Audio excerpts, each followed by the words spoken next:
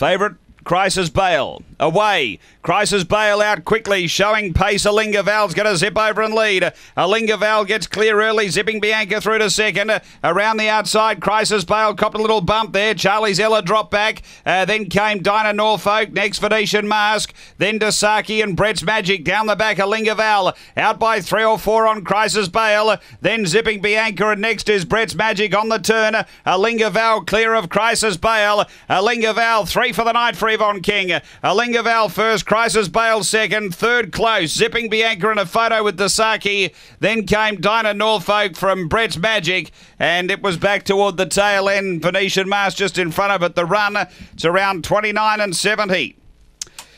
So uh, Yvonne King with a treble, and uh, it's a good run, 29 72. Numbers are 7, 8, and third home we stand by for. Number seven, Alinga Val, Yvonne King for TNT Davy, a black bitch, March 2014.